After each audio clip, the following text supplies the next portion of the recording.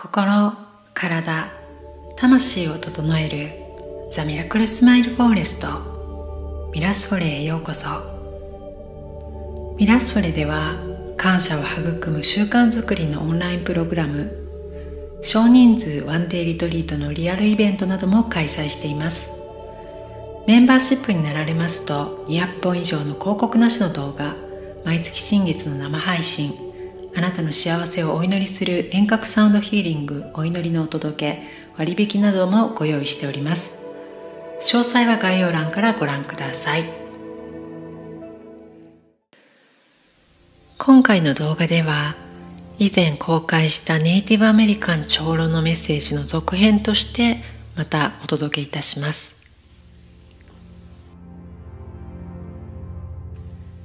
なぜ人々はこうまでテレビというメディアに引きつけられるのでしょう。これも最も古くから人間を引きつけているもの。ストーリーです。ストーリーは魔法の力を発揮します。例えばそれがあまり良い話でなくともです。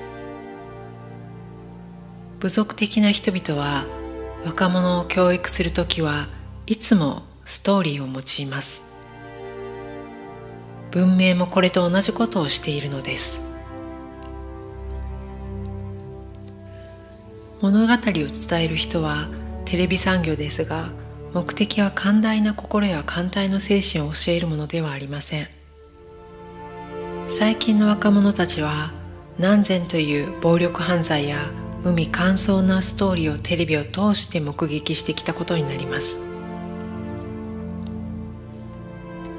ですから今ではその傾向が6時のニュースと新聞の第一名と続き成人してからも同じようなストーリーを見たり聞き続けています。大人もストーリー中毒です。テレビは昼メロという何ともドラマチックな神話を提供しています。けれどもそのために文化の否定的な側面は全て美化され人間の魂が陳腐なものになってしまいました。ゲームショーでさえストーリーです。ラスベガスの旅行やスポーツカー有名人のリッチな生活といった夢を普通の人間が家で見ることができます。けれどももしあなたがインディアンであり川の流れは人工的に変えられ資源は売り尽くされ赤ん坊は公園によって障害を持って生まれたとしても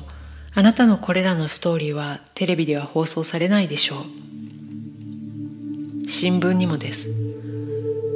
子供たちは学校に行っても実際何が起きているのかを学ぶことはないでしょう。子供たちは想像力を駆使してテレビやネットの英雄の真似をし追いかけっこをします。人間は特に子供は見たものになりたがります。このままでは宇宙を飛び回ったりジャングルで腰巻き一つで生活することはないにしても成長した時にはただ暴力と偏見によって白黒をはっきりつけたがる価値観を持ってしまいます。テレビやネットのストーリーを見てたかだが30分から60分そこらで窮地を解決してしまうようなことに慣れた心は創造性という大切な宝物を失っているのです。メディアに関わる人々芸術家は職業人として一体今どんな責任があるのかを集まって話し合う必要があるでしょう。映画テレビネット雑誌などに出てくる主人公によって人間は絶えず社会全体をプログラミングしているのです。最後にはくだらないものを得て勝利したつもりでいる主人公の真似をしても人生に満足は得られません。最後に恋人たちが結ばれてもそういったものを全て超えたところに何があるのかは疑問のままです。人生の意義と喜びが勝利の瞬間だけなら毎日の積み重ねや人との交わりといった残りの生活は一体何だというのでしょう。現代人は本当に深い孤独の中にあるために感情が混乱して現実をありのままに見ることができないのです。インスピレーションと本当のチャレンジ精神を与えるような物語。主人公が巡り合いによって啓発され向上していく物語などはどうでしょう。作品を通して幸福の霊的中心が描かれ明らかにされたらもう永遠の幸福は私たちのものとなるでしょう。こうした現代文化に対する私の問いはもはや個人的なものではありません。私は自分の子供たちが創造的で全てのネイティブの資源を支え全ての人々の創造性が高まることを奨励する社会に住んでもらいたいのです。一緒に人間の本来の在り方に目覚めている社会に住みたいのです。私たちの心と夢を一緒にしましょう。新しい生きた神話を具現化したいのです。あなたに可能性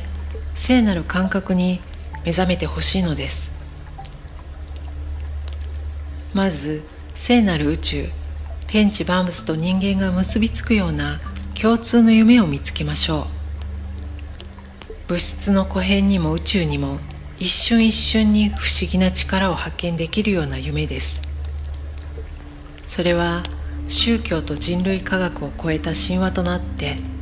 人間が天地万物の霊の不可思議な権限世界の一員という宇宙的な存在であることを教えてくれます。そして連帯感を心の底から奮い立たせてこの神話を人々に語ることで実現していきましょう。今日のストーリーテリングの新ルネッサンスは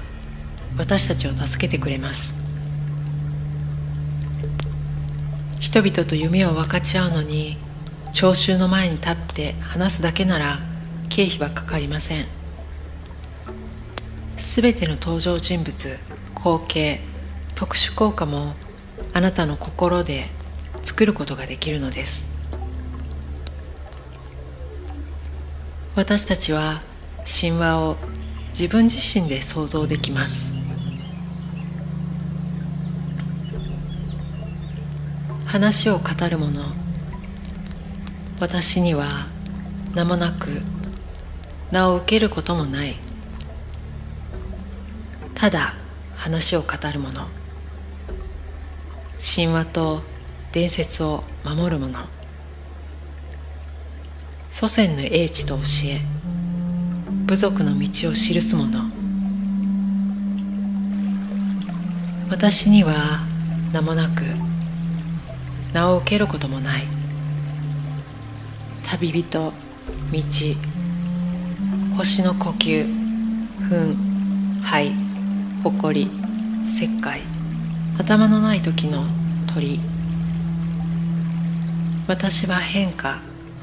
エクスタシー。聞いてくれる人よ見知らぬ人よ。私の声はあなたの声。私たちに名はなく名を受けることもない。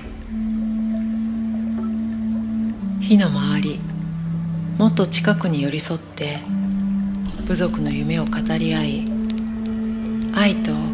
憧れの話を語り合いやがて生まれてくる子供たちの歌を